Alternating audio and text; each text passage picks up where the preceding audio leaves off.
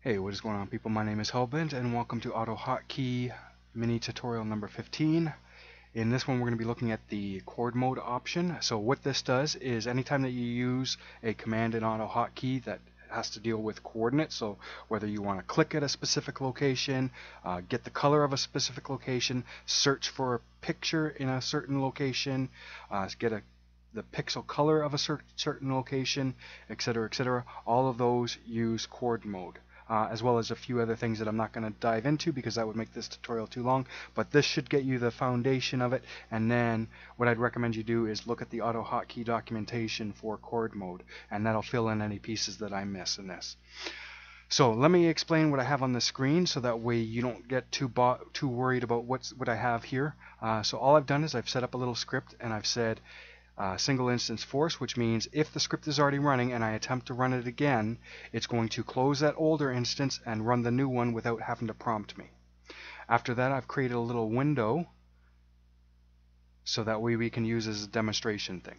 So I've set a window, I've set it so that way it always stays on top, I've set its background color, and I've displayed it with a width of 300 and a height of 300.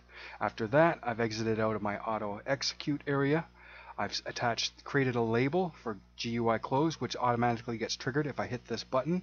And I've also attached a hotkey so that if I do either of those things, press the hotkey or press the X button, it'll exit out of my script.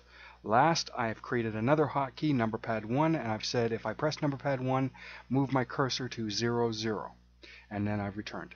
Uh, for this mouse move thing here, um, if you have a monitor that has a very high resolution, this mouse move command might not work properly for you. So if that's the case, what you need to do is just go to the AutoHotkey documentation for mouse move. So just Google search AHK mouse move and then go to the documentation page and you should be able to find a section that describes that if you have a high very high resolution monitor you can use a specific DLL call instead so use the DLL call in lieu of mouse move in this example for this uh, tutorial um, So, CoordMode. Every time you use, like I said, anytime you use coordinates for something, so let's say pixel search, pixel get color, uh, image search, mouse move, click, mouse click, mouse click drag, uh, specify a location that you want to display a tooltip, a menu, uh, get the coordinates where my caret is, so this flashing thing that's right there. Anytime I use something like that, then they, the coordinates that I get or the coordinates that I'm in using are going to be related to something. And the three things that they can be related to is they can be related to the screen. So it doesn't matter which window I have active. It's always going to be using the screen zero, uh, the screen's top left corner as 0, 0. So this is 0, 0 when it's the screen. I can also specify for the active window. So if this is the active window and I specify that I want to use coordinates relative to the active window, then it's going to be whatever window is active and it's going to be the top left corner. Uh, this is one of the things, there's a little caveat with this.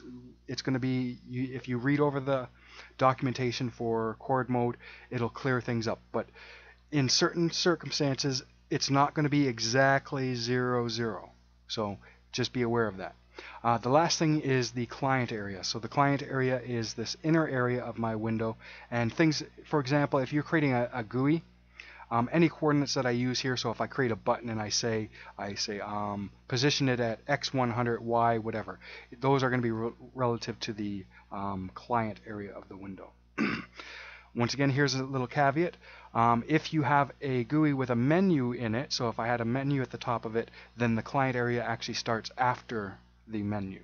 So for example, this window here, it has a menu. The client area would start after that menu.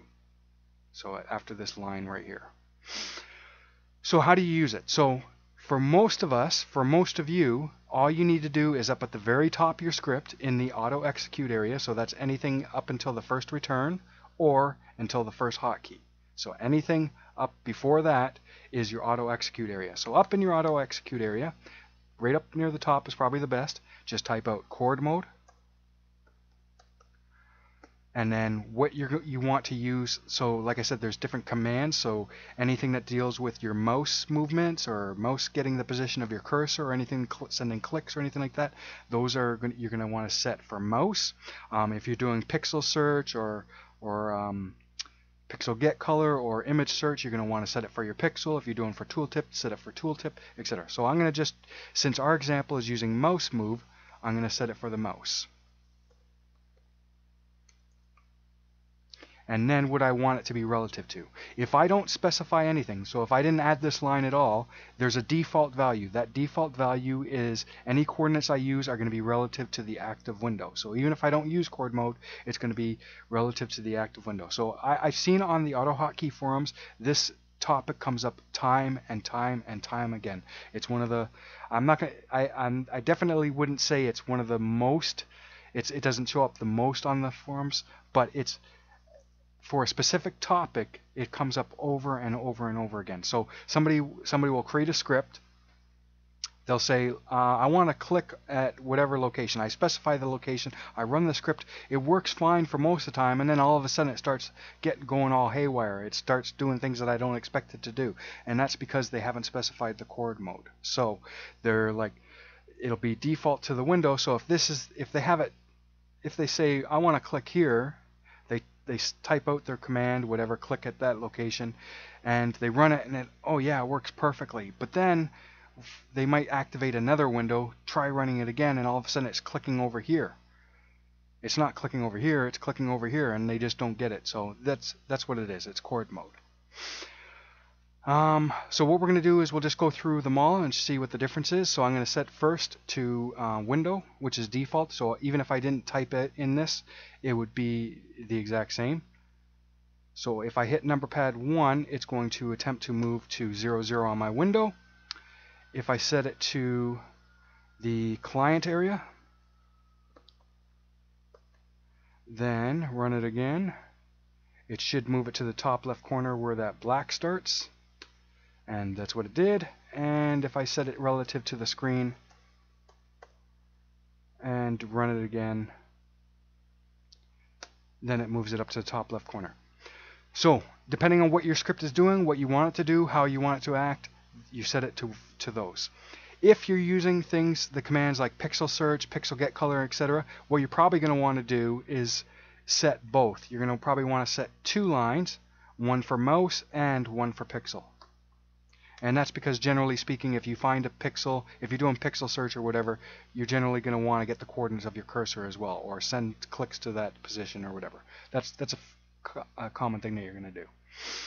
Okay, so that covers what you what it's for and how to use it. Now let's go into some other things that you might not expect or some some ways that you can use it. So most of us we're only going to use it for one thing. Like our script is only going to have we can set CoordMode once and then that's it. Well, sometimes you might be use, creating a script where you sometimes want to use it for the screen, the mouse position or pixel position be relative to the screen, but other times perhaps you want it to be relative to the client area or etc. etc. So what you can actually do, and what I'll do is I'll add in another hotkey.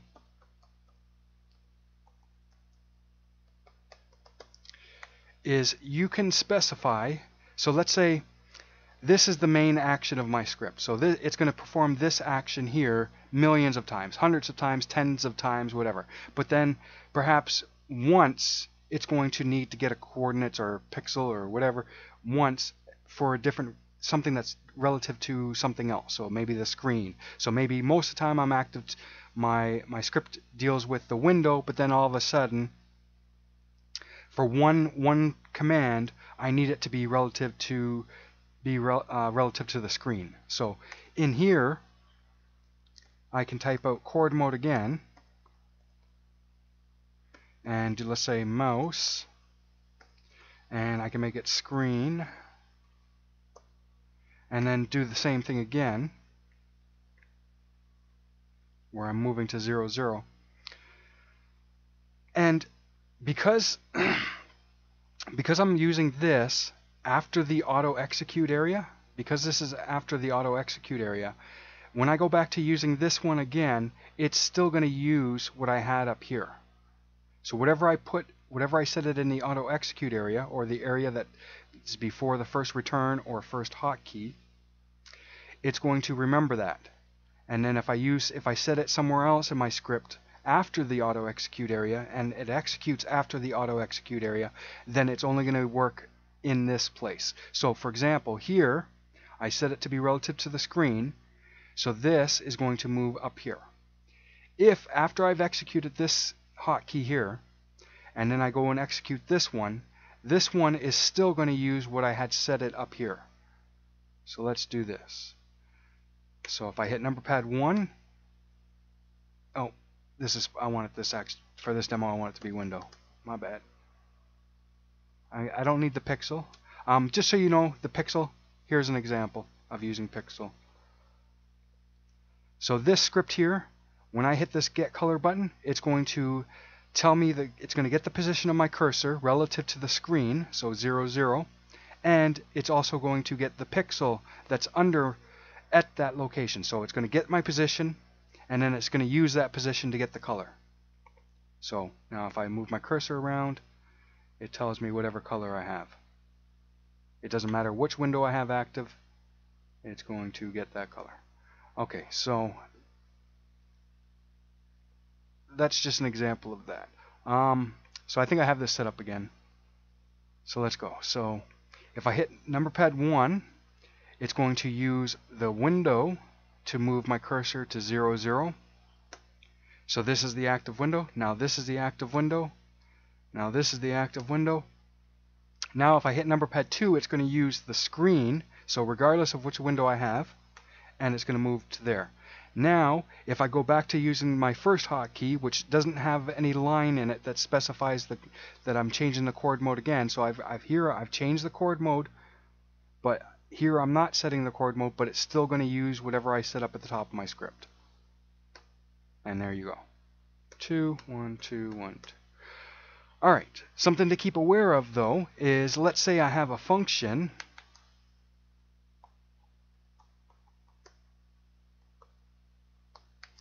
And in that function, I'm doing the same thing that I'm doing here.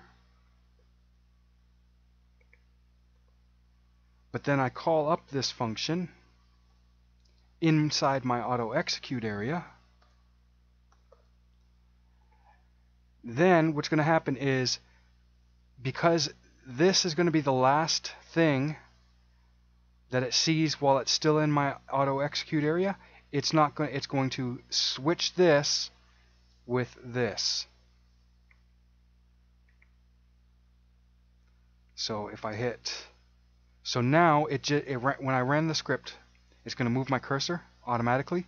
So because it did that, because it's changed, it's using this CoordMode in here, it set this CoordMode in here, which is still technically in my auto execute area because it happened before this first return. Now, when I hit number pad 1, it's not going to be set to the window it's going to be set to the screen. And there you go. Oh, oh, I guess I should activate the window to show it there. So now all of them are being relative to the screen. So that's just something you got to keep be aware of. But like I said, most of us, most of you are only going to need to set CoordMode once in your script, and the best way to do it is up at the top of your script.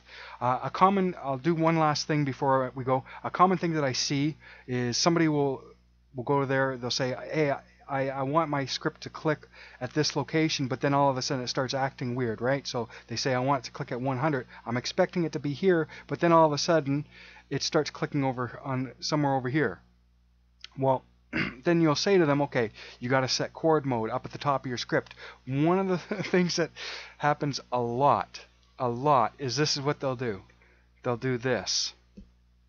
All right? This right here is in between two hotkeys. So this hotkey starts, and then it has its return, so it's exited. And then I have this new hotkey that starts, and it has its exit. And then in between them, I have this. I've set this CoordMode. Well, this code is never going to get executed. It's never going to get executed. Oh, so don't do this. Don't do this. Put either put it inside your hotkey like this, or better yet, just put it at the top of your script in the auto execute area. The auto execute area, one last time, is anything before the first return or the first hotkey. That's your auto execute area. All right, anyways, that is it. 15 minutes, damn. Oh well, I'm rusty, whatever. So sue me. These are free, whatever. All right, anyways, hopefully you enjoyed. Uh, leave a like if you did. I'll see you guys on the next one. Peace.